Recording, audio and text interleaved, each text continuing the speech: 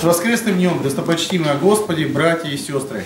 Сегодня мы слышали с вами из Деяний апостолов, из этого отрывка Священного Писания, прощальную речь апостола Павла, обращенных к пресвитерам Ефесской церкви. Самая важная деталь, на которую хочу обратить внимание, это единственное в этой книге апостольских деяний, там, где эта проповедь обращена не к язычникам и эллинам, не к иудеям, а именно христианам. И такие два важные моменты, на которые хочу тоже обратить ваше внимание, дорогие братья и сестры, что апостол Павел говорит о двух заповедях, не менее, не менее важных, которые мы слышим с вами в Евангелии. Там говорится о том, что нужно внимать себе и бодрствовать.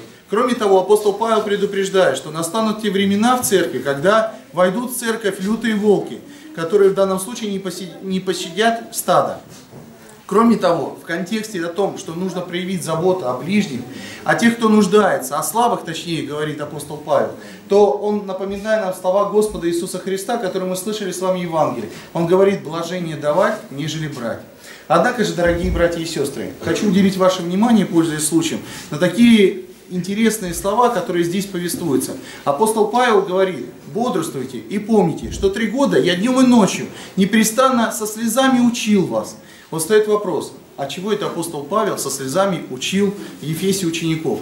Или банальный ответ напрашивается. Либо в данном случае они были настолько бестолковы, эти ученики в Эфесе, которые в данном случае, видимо, не готовы были воспринимать вот эти истинные откровения божественные, которые говорил апостол Павел. Либо сам апостол Павел был сентиментальным, просто таким преподавателем, который скорбел, печалился и просто плакал. А на самом деле есть, дорогие братья и сестры, толкование именно на это место Священного Писания, в котором говорится следующие вещи, что апостол Павел настолько говорил о драгоценных истинах, настолько говорил о важных вещах, которые в данном случае важнее были самой жизни. Вот когда он проповедовал об этих важных, жизневажных вещах, то действительно само по себе вот эта сокровенность его сердца не давала ему возможности говорить эти слова без того, чтобы сдержать слезы. Потому что вспомним себя, когда мы говорим действительно друг другу сокровенные вещи, когда мы в данном случае переживаем о том, что мы были поняты, о том, что мы в данном случае пытаемся открыть и донести человеку, человек действительно по-настоящему может случиться так, что он не может сдержать слез. И вот здесь апостол Павел, обратите внимание, когда учил своих учеников, говорил сокровенные для сердца истины и важные слова и вероучительные. Кроме того, дорогие братья и сестры, можно задаться вопросом, а может еще о чем-то горевал и плакал апостол Павел? И мы находим опять ответ в этом тексте Священного Писания, о котором сегодня слышали. Апостол Павел как раз говорит, что придут те времена, когда в церковь войдут лютые волки, которые не пощадят стадо. Вот он прозревает наперед, что случится такие события скоро в церкви, когда из-за каких-то людей начнутся расколы, появляться ереси, те же люди будут, которые Христовы, будут преследовать других людей, вплоть до того, что будут осуждать их и, при, и даже э, участвовать в том, чтобы применять наказание, именно смерть. Поэтому в данном случае, чтобы избежать этого, апостол Павел говорит о этих двух заповедях. Он говорит, что нужно внимать себе и, кроме того, еще и бодрствовать.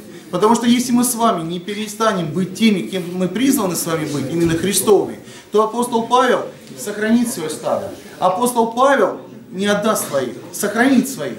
Поэтому мы должны об этом с вами помнить. А вот если мы с вами будем игнорировать вот эти заповеди, о которых говорит апостол Павел, есть пример, Ефесская церковь, о которой мы сегодня с вами слышали. Больше такой церкви нету, дорогие братья и сестры. Остались развалины и руины от былого величественных тех храмов, которые находились на той территории.